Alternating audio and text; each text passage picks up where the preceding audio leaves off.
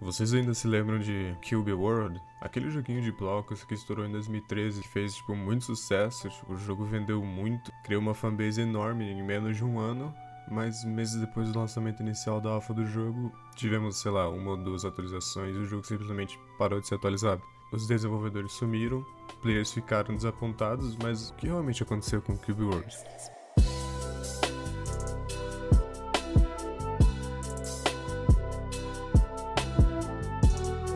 Bom, vamos lá. Cube World começou a ser desenvolvido mesmo lá em 2011. Mais ou menos dois anos depois, teve a sua primeira alpha lançada em 2013. Foi um jogo que estourou em pouco tempo. Para época, o jogo fez muito sucesso a ser comparado com Minecraft, por exemplo, já que ele tem os, os gráficos meio voxel e tal, com os blocos e coisas do tipo. E também Minecraft em 2013 e 2012 estava no auge do seu sucesso tanto na comunidade gamer uh, ou no YouTube.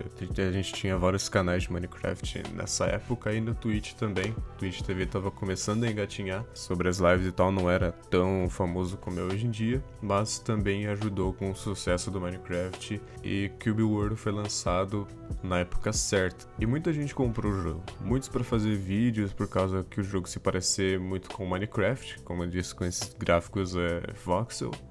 Mas também tinha aquele pessoal que comprou para jogar com os amigos, já que era um jogo bem grande em questão de mapa e muita coisa para se explorar e o melhor de tudo era co-op. A promessa do jogo era para ser jogado em co-op. Podia jogar tudo isso com seus amigos ali dentro do mapa. O problema é que o jogo morreu com o último update que foi lançado em 2013, no mesmo ano de lançamento do jogo. E foi um update fraco. Foi apenas para arrumar algumas coisas e tal, tipo, um bug fixing. Uh, agora estamos em 2018, 4 ou 5 anos desde o lançamento do jogo. Mas e aí? Cube World realmente morreu? Bom, depois do lançamento do jogo em 2013, rolaram algumas controvérsias. O jogo tinha alguns bugs e alguns problemas de conexão, mas era algo de se esperar é, tratando de uma alpha. Alguns meses depois os bugs foram consertados com aquele último update de 2013 que eu disse, mas foi aí que o jogo ficou abandonado. Não tivemos mais nenhuma notícia sobre, nenhuma atualização sobre. Foi então que em maio a Picroma, que é a empresa que produz e distribui o jogo, retirou o jogo da loja, assim possibilitando as pessoas de comprar ele. Quem comprou, comprou e quem não comprou ficou na vantagem. Isso tudo foi por conta de mudanças nas leis europeias, como o aumento de taxas sobre as vendas de produtos online, o que foi o que dificultou muito a Picroma de vender o jogo. Para as empresas grandes é, dos games, isso não mudou muita coisa, mas para os desenvolvedores indies foi um tiro no pé. Muitos tiveram que apelar para vender os jogos na Steam. E isso até pode ser bom para nós. Por exemplo, eu adoro jogos da Steam e dou preferência para comprar lá, porque a minha biblioteca de jogos é na Steam. Eu tenho mais de, sei lá, 400 jogos lá e eu gosto de deixar tudo organizado em um lugar só, como se fosse realmente uma coleção de jogos que eu tenho dentro da minha Steam. Tudo isso me ajuda, mas para esses desenvolvedores indies é um pé no saco. Ter que pagar uma taxa para colocar um jogo no Greenlight para a comunidade votar pro jogo ir pra loja é muito burocracia. E para quem conhece, sabe que o Greenlight era como se fosse um buraco negro da Steam. O lugar era cheio de jogos câncer e scam. Se não sabe o que é scam, eu vou deixar aí no card um vídeo linkado onde eu falo um pouco mais sobre o assunto. Então, para um jogo bom ser reconhecido ali dentro, não era muito fácil. Com muitas pessoas cobrando Volai, que é o desenvolvedor do jogo, eu vou chamar de Volai porque o nick dele em alemão, eu não falo alemão, mas uh, em alemão o W tem som de V, então eu vou falar assim, cobrando ele que ele tinha abandonado o jogo, coisa do tipo. Então ele postou em, no final de 2013 um tweet falando que não tinha abandonado o jogo que o jogo só que ele só estava trabalhando no jogo por trás dos panos, digamos assim, que eles podiam ficar tranquilos que o jogo ia sair sim e que ele não foi abandonado. Ele e a esposa dele ainda continuam trabalhando firme e forte no jogo. Desde então, vários tweets e posts foram mostrando a evolução do jogo um sistema novo de skill para as antigas classes e novas classes que foram adicionadas, um sistema totalmente novo de quest, já que o antigo era coisa bem simples, nada comparado com as quests de um RPG de verdade, já que essa era o promissa do jogo, ser um RPG. Também uma nova inteligência artificial para os NPCs, nova interface e por aí vai. É muita coisa nova que foi adicionada nessa build fechada que eles estão trabalhando. O foda é que tá demorando muito, porque são apenas duas pessoas que estão trabalhando no projeto e são duas pessoas muito perfeccionistas. Eu também sou uma pessoa muito perfeccionista, então eu entendo como eles estão se sentindo com esse jogo. Na visão deles, tem que estar o melhor possível antes de lançar alguma coisa. Até hoje, ninguém, fora alguns amigos próximos, dos desenvolvedores sabem exatamente o que aconteceu ou o que vai acontecer com o jogo no futuro. Para muitas pessoas que compraram o jogo, Cube World está morto, mas ainda tem uma esperança lá no fundo de que o projeto não está realmente morto e que sim vai ser lançado algum dia. Mas aí tu me pergunta, se ainda existe esperança, por que muitos ainda pensam que o jogo está morto? Um dos motivos seria o amor incrível que a comunidade ainda dá pelo jogo.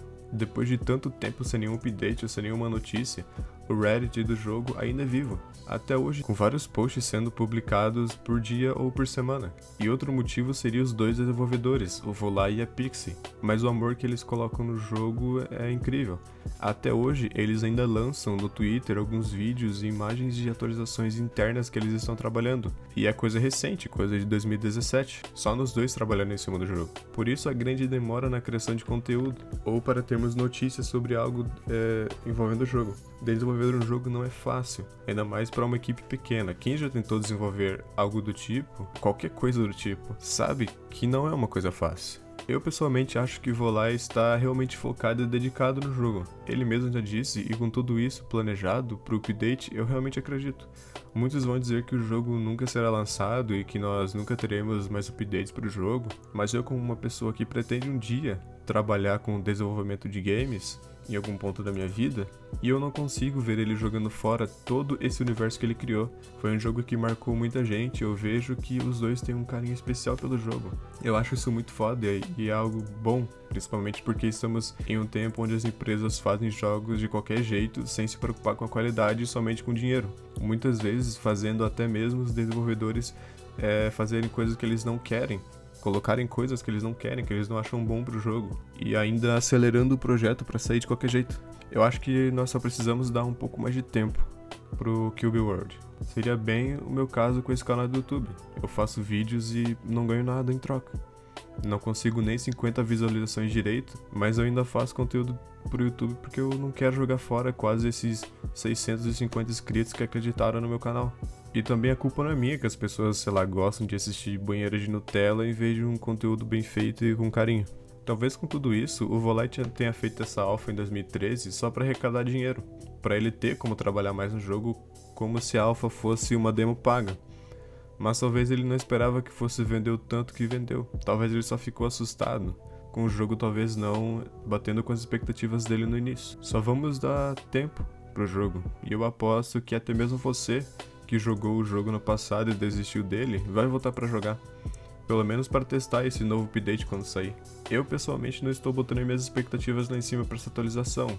Eu já disse aqui no canal que o bom não é você criar muita expectativa sobre alguma coisa, mas é bom às vezes ficar animado, mas nem tanto. Mas eu confesso que eu estou realmente contente e um pouco curioso para ver como tudo isso vai terminar.